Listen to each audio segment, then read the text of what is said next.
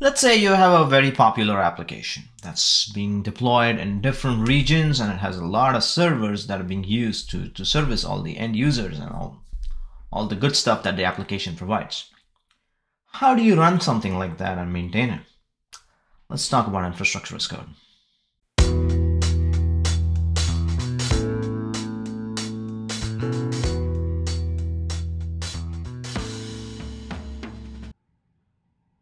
Welcome back. My name is Srinivas. Let's talk about infrastructure as code. What is it? It's a way of managing and deploying infrastructure using code as against to using manual processes. Why would you want to do something like that? What are the advantages of it? Code reviews and edit processes, right? So you are making a change to your infrastructure and you're making that change to your code repository. You can have your peers review that code and ensure that the changes are not going to break something from any any perspective like security or the production outage perspective and so on and so forth. So it's a very good handy tool to have for for infrastructure at scale. It the another major advantage is that it allows us to have phased rollouts. What does that mean? If you're going to make changes manually you'll have to go to each and individual resource be it your cloud provider be it your individual linux instance for that matter. And you'll have to make that change individually and move on to the next one. So this is prone to error.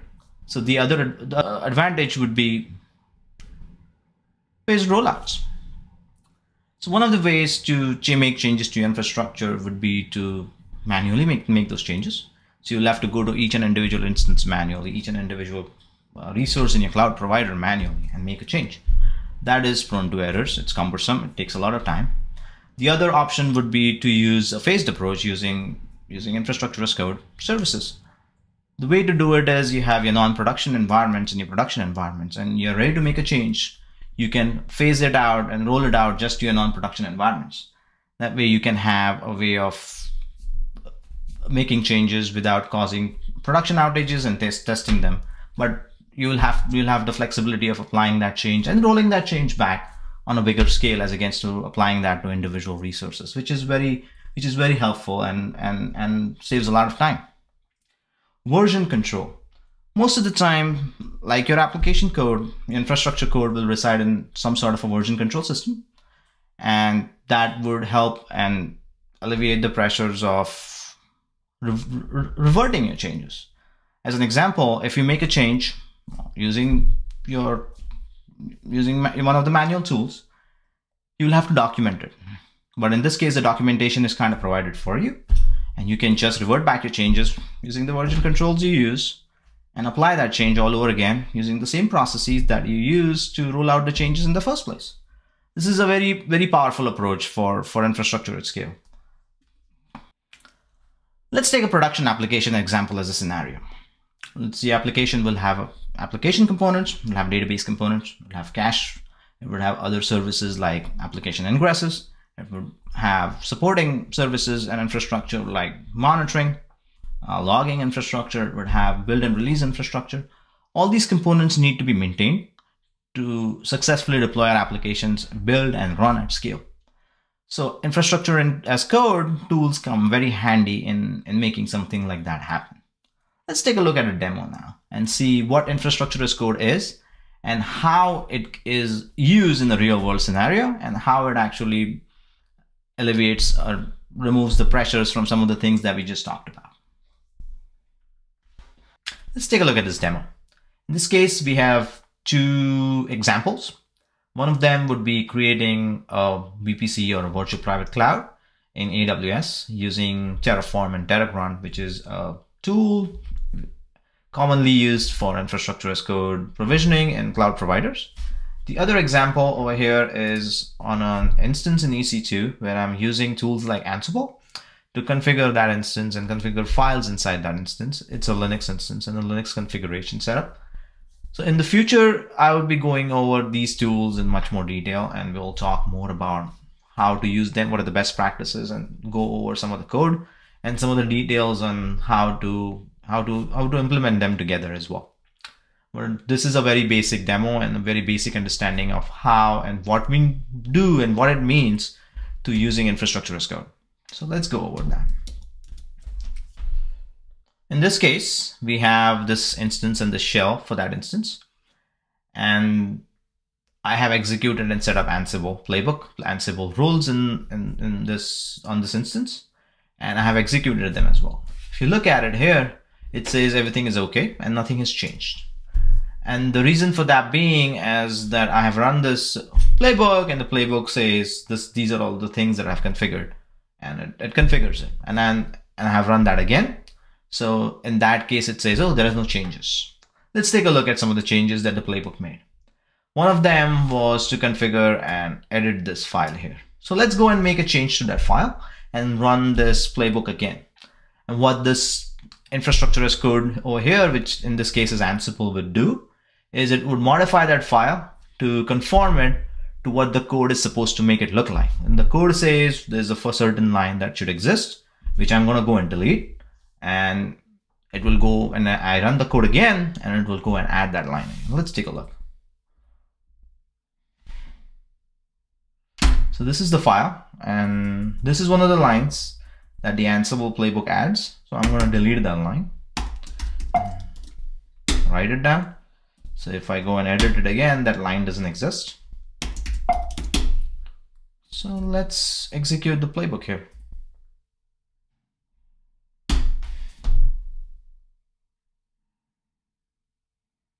In the previous screen, when we executed the playbook, it said, oh, nothing changed. The change was zero. If you look at it here, now that we edited that file, it had to go and override that change and says, okay, I have changed one thing, which was not conforming to what the code is supposed to look like. So that that is one thing that we can take a look again. And that very line that we deleted, the exclude line, is back here again. And as we can see, it's added back. And as long as we keep running the code as is, all over and over again, this line will always be edited and added back. Let's take a look at the other example. In this case, what we're doing is we are creating a VPC. VPC can be created on the console. So I could create one here and I will have to go to another region, create another one there. Or I could use tools like Terraform where I set up all the configuration. Oh, my VPC is supposed to look like this is my subnet configuration and so on and so forth. And as long as I can run that code in different regions with certain parameters that would change. In this case, it would be change the, the network address for that VPC, which would be unique in for each VPC as long as you, if you want to connect them to each other. So I would make some of those changes and apply that same code to a different region or same code with small changes to the same region. And I would get a, a create, keep creating VPCs over and over and over again in a consistent manner. I could do that using a create VPC workflow, but I would have to keep clicking and keep track of every change myself.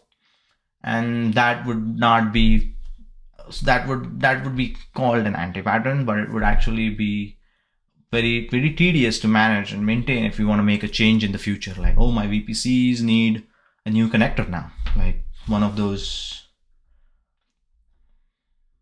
connectors that we use here that i wanted to create a new one like endpoints for vpc for s3 endpoints.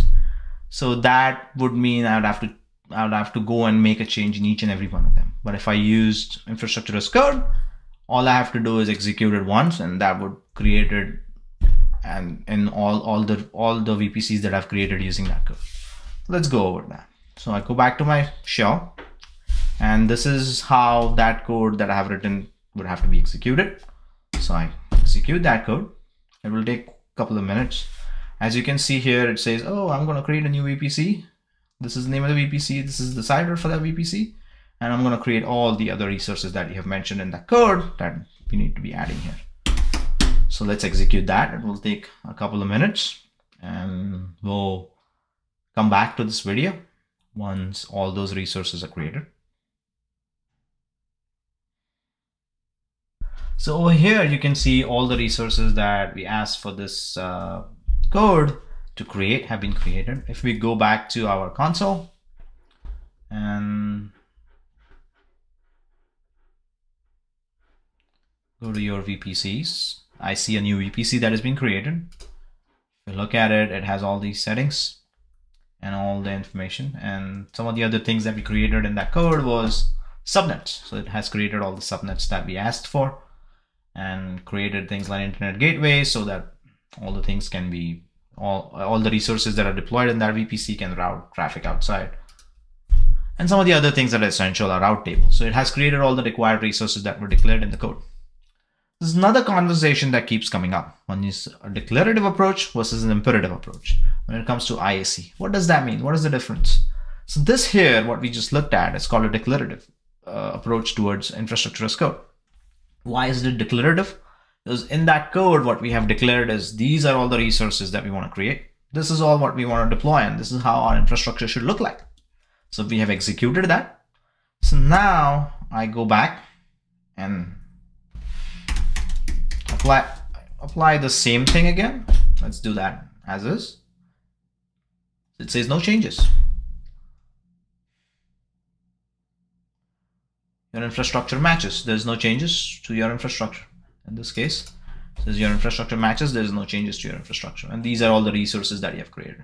So we have declared all our resources. These are one, the ones that we want to create. And it has created all those resources. And this is more like a declarative approach. So what is an imperative approach? The example that we took here, which was to deploy or configure MongoDB instances, right? So we, we, we are going to have a database in this case using Ansible, we are going to provision it and it's going to look a certain way. So let's go to Mongo's website and see what that says. So there is something called an upgrade step or upgrade process to latest revision, right? So if you look at MongoDB manual, they say, oh, the current revision is 6.0, and let's say I'm deploying 5.0, right? And now I want to upgrade from 5.0 to 6.0. So I'm going to take a couple of steps. And Mongo clusters can go grow big, depending on the size and depending on sharding and the whole strategy that is being applied. So now one of the step in your upgrade process would be upgrading your binaries on each and every individual instance. So there is a procedure that you have to follow. And one of the process is make sure your drivers are upgraded. Make sure you, you have upgraded the binaries in a certain order. That means you don't upgrade the primary first, you upgrade the secondary first, so on and so forth. To make that happen, you'll have to, one of the step is to upgrade your Mongo instance. This is a one-time event. You don't have to execute it over and over again. So this is more like a script that you execute. It's like, okay, execute step one, step two, step three, step four and then my instance will look like this at the end of it. And then at the end of that whole process you will have a cluster that has been upgraded. This is more like an imperative approach wherein you are declare you are ex executing things in an order so that your uh, environment can be can can look a certain way just one time and then you can you don't need to make changes or, or, or configure changes differently the other example would be, okay, I have upgraded my environment from 5.0 or 5.x.x to 6.0. Now I want to check all my Mongo versions. I could just execute Mongo minus minus version command, and I could use Ansible to do that from a remote machine, and it would give me the status of the whole environment. Oh, it's all upgraded. This is the version. They are all in sync. They are all as expected. So this is the difference between an imperative approach and a declarative approach. What are the other advantages of infrastructure as code? Now I've created a new VPC here, as you can see. The VPC is created, all the resources are created. Okay, I want to delete it now. I want to delete each and every resource. Some of these resources over here are NAT gateways that we provisioned in the part as a part of that process. They cost money. So I don't want to keep losing money over something that I'm not going to use. I want to delete everything.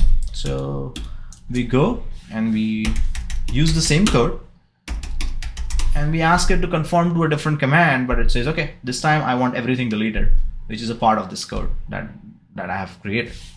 So I execute destroy and it will go check what all the resources are. And over here, it will say, okay, do you really want to destroy all these resources? I'll say yes.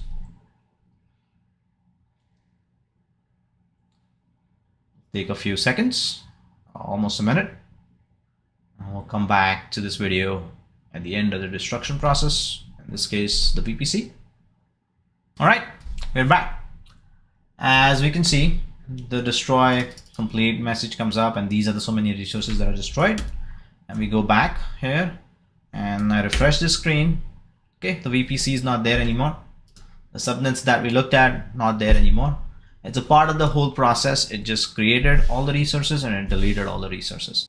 So why IAC? Short answer, it allows us to get conformity of infrastructure at scale.